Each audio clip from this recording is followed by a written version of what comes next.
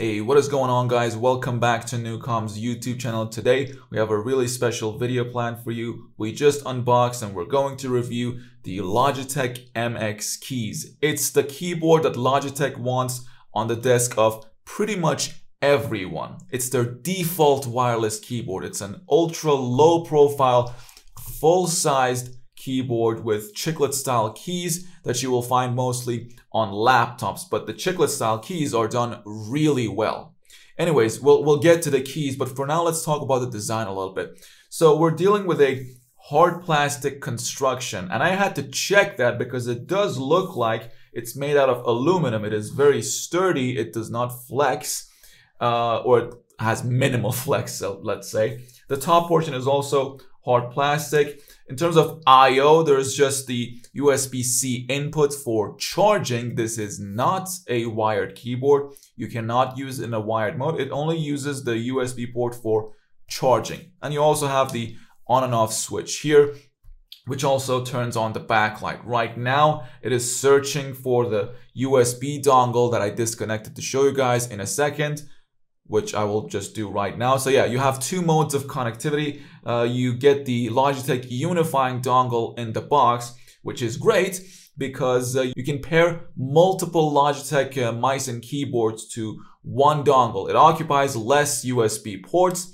And if you lose one of them or if you break one of them, you can always use the other one that maybe comes with your other Logitech device to uh, use that one to pair uh, the, the, all of your devices too. So that's a great feature. It's it's as good as uh, USB dongles can get for mice and keyboards. So yeah, that's one of your options. And the, the three buttons here, you can cycle between the dongle or a couple of added Bluetooth devices. Because yeah, this also has Bluetooth. You're also seeing the, the light flashing. Uh, this is the this is a backlight enabled keyboard. And uh, thankfully, the, the keys uh, have uh, pass-through lighting through the letterings on the keys. So you can see uh, the, the letters in, in a really dark environment. You can see that the, the light shining through the U. It's not just light shining, uh, light bleeding from around the keys. You can actually see the light uh, coming through the letters, which is great.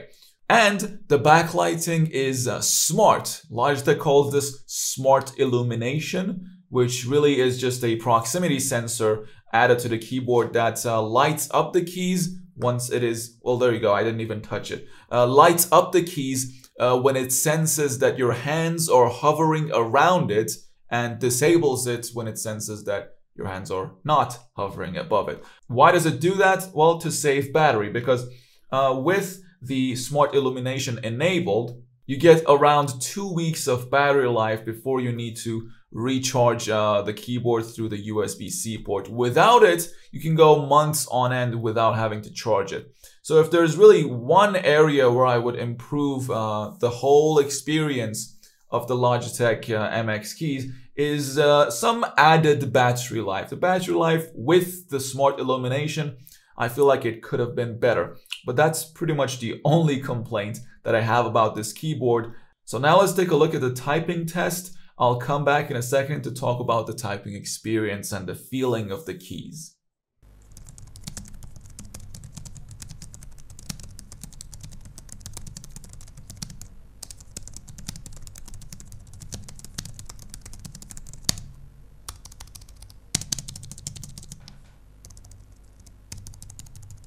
Unsurprisingly, the typing experience is uh, really great, especially for a laptop style keyboard. The, the mechanism underneath the switches is the chiclet style of keys that you see being used on laptops. But don't let that fool you. Don't let that make you think that, oh, uh, laptop keyboards or membrane keyboards are inferior to mechanical ones. That is absolutely not the case. That might usually be the case. And let me tell you from experience, whenever I review a membrane keyboard, I pretty much always default back to my mechanical keyboard. Let me turn off the flashing, it's a little distracting. Uh, whenever I uh, review a membrane keyboard, I always default back to my uh, mechanical keyboard. But this time I'm very torn because I very much enjoy the typing experience on this membrane laptop style keyboard. And I feel really fast typing with it. So I think I'm just going to keep this on my desk, having used a whole bunch of mechanical keyboards because of not only the typing experience, the silentness of the of the keys, uh, which is definitely appreciated since uh, uh, you know everybody else in the house sleeps really early and I have to work late. The silentness really definitely helps. Uh, and also the options that I get uh, in terms of software functionalities with the Logitech Options software, very aptly named. So let's talk about that because that's a very important selling point for any modern Logitech Logi branded product. The Logitech Options app is packed full of features that allow you to really customize the functionality of the keys on a per app basis. You can change the functionality of the keys uh, depending on which window is currently active in your Windows or Mac system. You can do the same with any Logitech mouse that you have also. So that's definitely, it, it, it kind of ties in the Logitech uh, computer peripheral ecosystem together through the Logitech Options software. And uh, speaking of this mouse that is in my hand, uh, the keyboard also features Logitech Flow. So guys, this is the setup that I'm going to use to demonstrate how the Logitech Flow works. First of all, you need your Flow enabled mouse and keyboard. You also need at least two computers connected to the same network. You also need to have already paired up both of these devices to the Logitech Options Plus software on both of these computers. So then you need to go to uh, your mouse settings. In this case, this is an MX Anywhere 3. Go to the Flow tab, turn on the flow toggle right here and it, you can see both of the computers that are connected to the same network. You can even add another one if you so uh, if you if you want. And you also need to take one extra step. You go to more settings and toggle on the link keyboard option. This is off by default. So once you do that, you're all set. Uh, so my cursor is on uh, this display. I move it over to the edge and you can see the cursor now on uh, this device now. And the keyboard has also moved with it. This is the best part. You don't even need to repair the keyboard, which is, I mean, this is the whole point of it. So I move the cursor back here. The keyboard is here now. All right. Now, e even cooler than this is that you can actually transfer files and folders with this with this option. So I will uh, just use Control C on a folder I will just move the cursor here, Control V, and you can see that it is transferring as fast as my router can actually allow the transfer to go.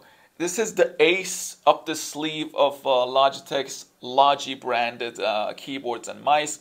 Uh, the MX Anywhere 3 is one of them. The MX Master 3 is obviously another one. The MX Keys is also flow enabled. This is an incredibly useful feature for people who use two devices at the same time, but they don't want to have to have two keyboards on their desk. That's a really cool feature that uh, should almost be added to the price uh, of uh, each of these devices. And well, I assume it is included in the price. But regardless, uh, a really great software experience. It, it seems like Logitech has the best software experience by far, and it's really not even close in terms of functionality, in terms of polish. And they even have different software for their uh, productivity focused products, such as the MX Keys and the MX Master series, and their gaming focused uh, products, such as the, uh, the, the G502 with their Logitech Gaming Hub. Now, some uh, little details about the keyboard that I uh, forgot to mention is, well, uh, I already mentioned that you can seamlessly switch between the devices that you have paired to with these three buttons. It's a full-size keyboard, so you're getting all of the F-row keys. You get full-size arrow keys and a numpad, plus some few buttons uh, extra on the top of the numpad. You got a calculator button, uh, a camera button, which could also function as really anything that you want. We could take a snapshot of the screen in front of you uh, and a couple of other buttons, including a lock button. And the F-row keys also have uh, the laptop style functionality to them, like uh, controlling the media, uh, the, the backlight control, the brightness control, and the task view, and a quick switch to the desktop. So the typical shortcuts that you will find on laptop keyboards. So just to wrap up this review, this, the Logitech MX keys, is the gold standard of full-sized, ultra-low profile wireless keyboards meant for desktop use because this is a hefty keyboard. It is low profile, but it is heavy.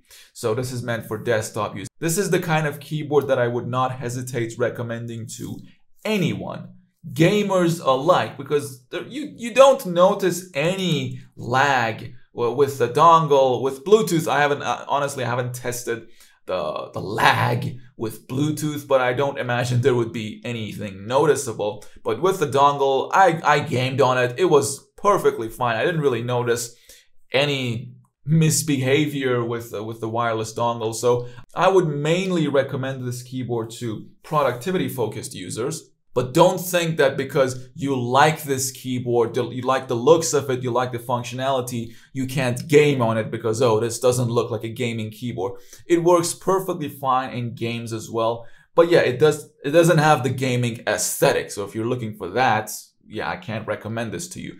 For everyone else who are looking for a full-size keyboard with all the functionality that they need, media control, a numpad, and good, reliable wireless, as well as a really great build quality and a lot of extra features through the Logitech Options software, I cannot recommend the MX keys enough, especially with the really cool flow feature, which you will need a a modern Logitech mouse like the MX Anywhere 3, like the MX Masters 3 or 2. So uh, that would be like the, the ultimate combo for your desk. With that said, I'll end the video here. Thank you all very much for watching. Make sure you leave a like if you liked the video and subscribe to Newcom for other content like this. We do a lot of computer peripheral reviews like headsets, mice, keyboards, mouse pads, and everything in between. So once again, thank you all for watching and I'll see you guys in the next video.